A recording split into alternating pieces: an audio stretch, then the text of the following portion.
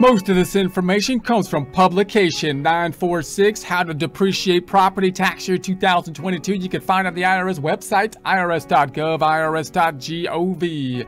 Looking at the income tax formula, we're focused on line one income. Remember, in the first half of the income tax formula is, in essence, an income statement, but just an outline of scaffolding, other forms and schedules flowing into these line items. One of those being the Schedule C. The Schedule C being, in essence, an income statement in and of itself. Business income minus business expenses gets to the net business income, which flows in to line one income of the income tax formula we see here. Looking at the first page of the Form 1040, noting that the Schedule C flows into the Schedule 1, which flows into page 1 of the Form 1040, line number 8. Schedule C, profit or loss from business, has an income statement format, income minus expenses. We are focused here on the expense side of things, looking specifically at the depreciation, depreciation being an accrual concept we're forced to deal with even if we're on a cash-based system because we have to put it on the books as an asset in essence according to the tax code allocate the cost over the useful life although we might have some special depreciation some 179 depreciation that could muddy up the waters so given that when does depreciation begin and end? You might think it's a straightforward type of uh, question here because you would think it would begin when you buy the equipment or whatever it is you're purchasing that you have to depreciate. But uh, it can be a little bit confusing in terms of when you're going to actually put that into operations. And when you look at the conventions being used, you might have different conventions like a half year convention or a mid-month convention when you purchase certain types of depreciable property. So when does the depreciation actually start can be somewhat more confusing than you would think at first. So you begin to depreciate your property when you place it in service for use in your trade or business or for the production of income.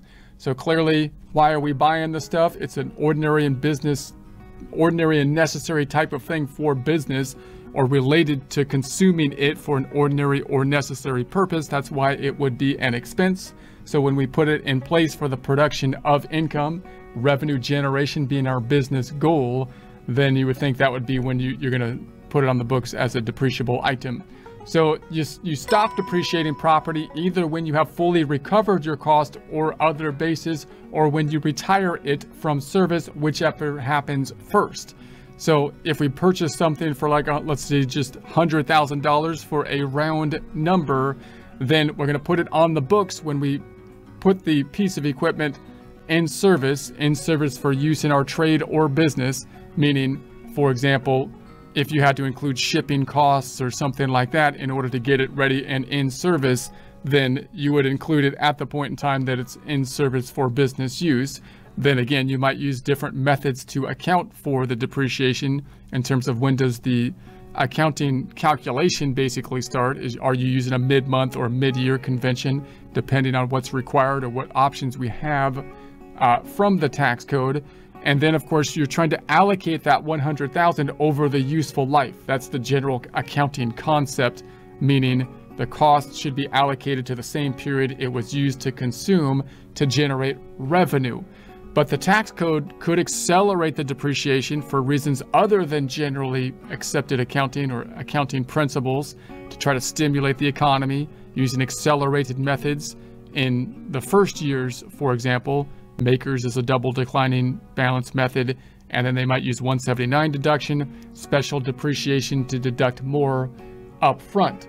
Uh, the general idea then would be after you've allocated the full 100,000 in that example, you can't keep on depreciating after that point in time, even if you're still using the piece of equipment in business, which is likely if they allow you this big accelerated depreciation type of method, because you can't depreciate more than the equipment actually costs. That would be the general idea. So you're going to fully depreciate the equipment over its useful life or whatever depreciable property you have, or you might dispose of it before that time, which means you might either sell it or you might just dispose of it, just throw it away before it's been fully depreciated, at, at which point you've got to calculate what's going to happen at that point in time in terms of possibly a gain or a loss at the point of sale or disposition. Okay,